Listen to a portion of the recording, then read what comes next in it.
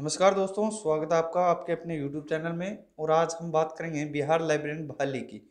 जी हाँ दोस्तों, एक बार फिर से जो बिहार लाइब्रेरियन बहाली का मुद्दा है, वो विधानसभा में उठाया गया था। उनतीस तीन 2022 को ये लाइब्रेरियन के बारे में, कॉलेज लाइब्रेरियन और अन्य जो लाइब्रेरियन वैकेंसीज है, उनके बारे में ये प्रश्न जो विधानसभा में उठे थे।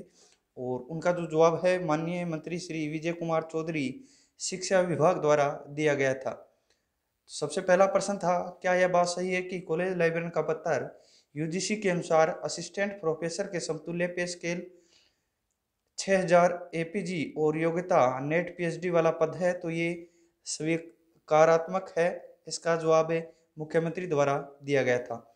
दूसरी बात करें तो दूसरे में जो कॉलेज लाइब्रेरियन का प्रश्न था, जिसमें माननीय मंत्री द्वारा जो पुस्तकालय सहायक के पुस्तकालय सहायक के 300 पद रिक्त बताए गए हैं।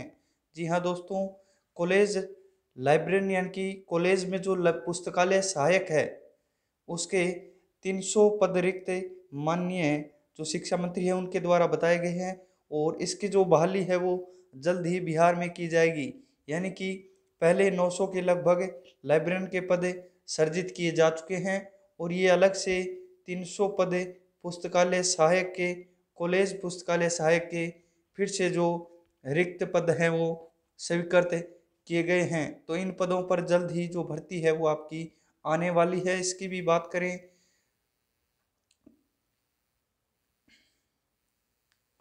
तो दूसरा जो क्वेश्चन की बात कर लेते हैं हम, क्या यह बात सही है कि राज्य के अंगीभूत एवं शासकीय कॉलेजों में लाइब्रेरियन के कुल सर्जित पदों के 90 प्रतिशत से अधिक पद रिक्त पड़े हैं? तो इनके जवाब में जो माननीय मुख्यमंत्री द्वारा, जो सॉरी शिक्षा मंत्री द्वारा दिया गया था, उसकी बात करें तो वस्तुस्थिति यह है कि राज्य के अंगीभूत महाविद्यालयों के अंतर्गत पुस्तकालय अध्यक्ष, सहायक पुस्तकालय अध्यक्ष, पुस्तकालय सहायक के लगभग 300 पद रिक्त पड़े हैं। पुस्तकालय सहायक थर्ड ग्रेड के आपके समान होगा, पुस्तकालय सहायक का पद।